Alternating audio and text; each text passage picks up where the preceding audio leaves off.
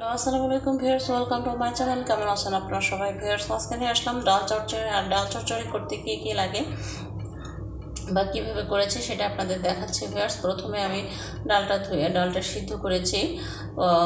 লবণ, হলুদ ছাড়াই। ডাল, ডালটা যখন সিদ্ধ হয়ে গেছে, তখন হালকা একটু ঘোটা দিয়ে নিয়েছি। ঘোটা দিয়ে নিয়েছি মানে হচ্ছে গলেই গেছে, চামচ দিয়ে যতটুকু পারা যায় ততটুকুই করেছি।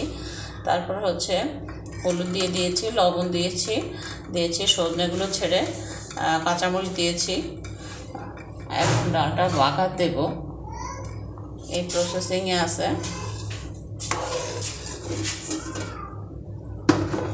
কয়েকটা তেজপাতাও দিয়ে নিয়েছি ভিওর্স সজনে ডাল কিন্তু খুবই মজা লাগে খেতে এবং সজনে অনেক উপকারী অনেক উপকারী। যা উপকারের কোনো শেষ নেই। আমাদের ডালটা ড্রাই হয়ে এসেছে আমার ভিডিওটা যদি আপনাদের ভালো লাগে, অবশ্যই please please like comment share করবেন, বন্ধুদের মাঝে ছড়িয়ে দেবেন এবং পাশে থাকা বেল আইকনে গিয়ে চাপ দিয়ে রাখবেন। কারণ হচ্ছে, আমি যখনই নতুন নতুন ভিডিও আপলোড করব না কেন, আপনাদের কাছে যাতে পৌঁছে যায়।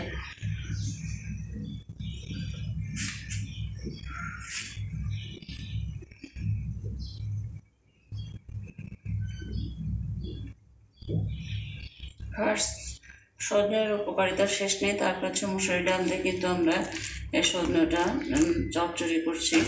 ঠিক না? রান্না করছি সজনে ডাল করছি আর কি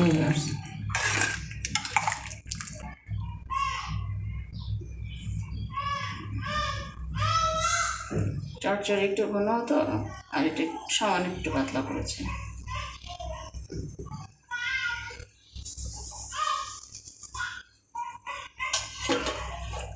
ঢেকেও দিয়েছিলাম কারণ সজনাগুলো একটু ঢাকনা না দিলে তো আপনার সিদ্ধ হবে না সেই জন্য একটু ঢেকেও দিয়েছিলাম। ঢাকনাটা। এখন কিছু বাঘা দেবেন না এখন আমরা ডালটা বাগা দেবো তো সাথেই থাকুন।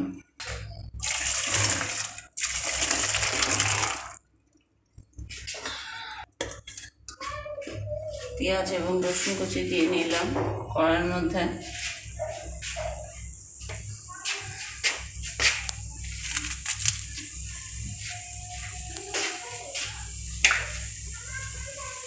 কয়েকটা কাঁচামরিচ তো দিয়েছি আর কয়েকটা শুকনো মরিচ দিলাম এটা কিসের জন্য দিলাম? ঘেরানোর জন্য। ঘেরানোর জন্য দিলাম কারণ অনেকে কাঁচামরিচ পছন্দ করে না শুকনো মরিচ পছন্দ করে আবার অনেকে শুকনো মরিচ পছন্দ করে না কাঁচামরিচ পছন্দ করে। তা আমি কাঁচামরিচ পছন্দ করি আম্মু শুকনো মরিচ পছন্দ করে সেই জন্য হচ্ছে আমরা দুটোই দিলাম।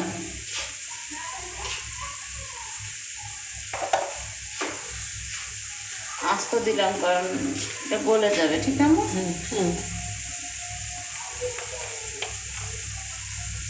আর পাতায় যাতে ভেঙে খেতে পারে, যদি আলামও থাকে, বা আস্ত থাকে।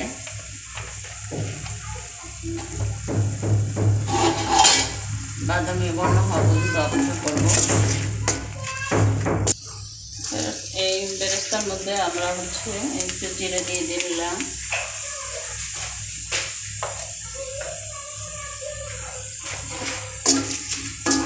ধীরে ধীরে আলাদা ফ্লেভার পাওয়া যায়। ধনে পাতাও দিয়ে দিলাম। হালকা একটু ওনার তো সেই জন্য।